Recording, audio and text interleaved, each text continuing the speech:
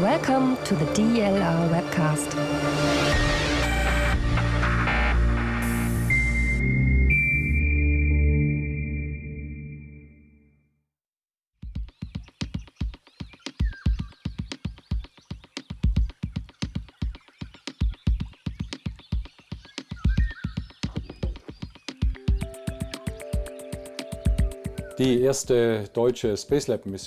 The first German Spacelab mission, D1, began on the 30th of October 1985.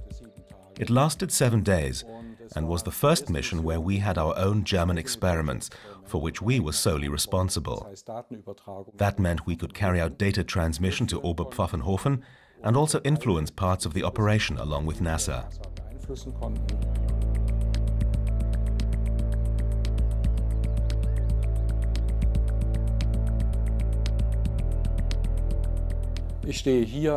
I'm standing here in the Space Lab module that went up into space with us, here in one half and on the other side the other half. You have to imagine a tube that's 8.5 meters long with a diameter of 4.5 meters, chock full of these instruments. A small narrow tunnel linked it to the space shuttle. And here in the Space Lab, we had the same sort of typical arrangement that in part can still be found on the International Space Station today, double cabinets that are called double racks.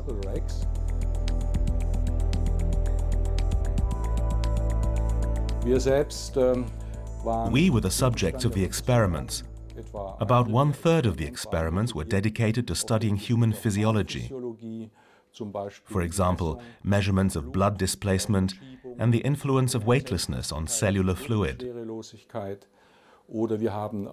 We also measured bone density and investigated the organs of balance for similar purposes.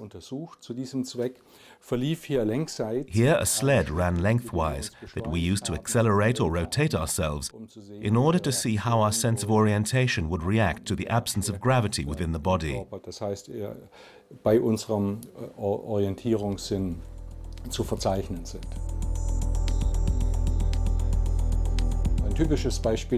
A typical example of the cooperation between the European Space Agency and the German Center for Air and Space Research, which back then was known as DFVLR, was the glove box.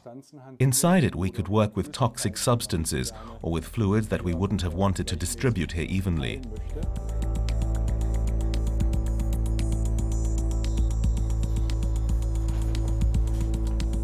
Here's the camera that was used now and again to observe us. It was very important for showing the results of our experiments on plant growth, for example.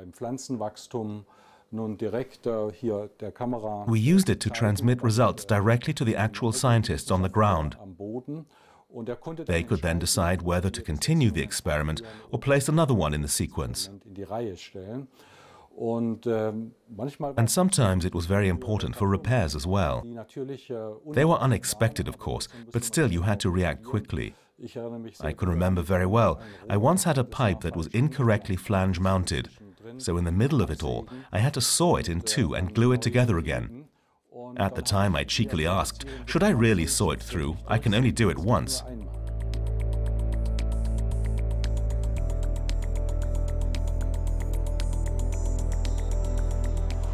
In a weightless environment, down is where your own legs are positioned. In this case here.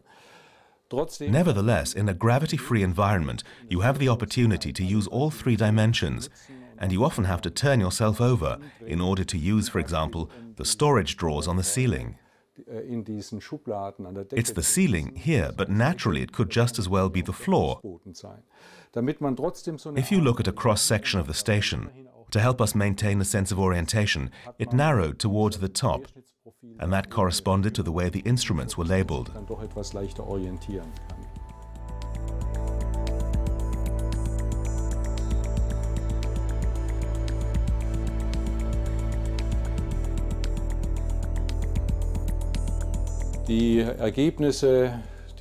The results of this mission were very well documented.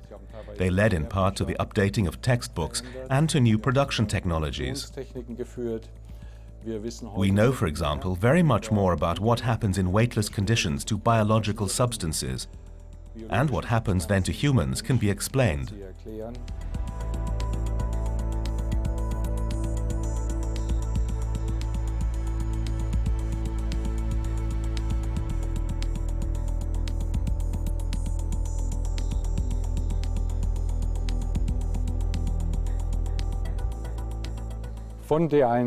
From one week of experimenting on Spacelab during the D1 mission to 52 weeks on Columbus on board the International Space Station. Without the broad experience of Spacelab, these experiments would not have been as qualitatively useful or as fascinating to carry out.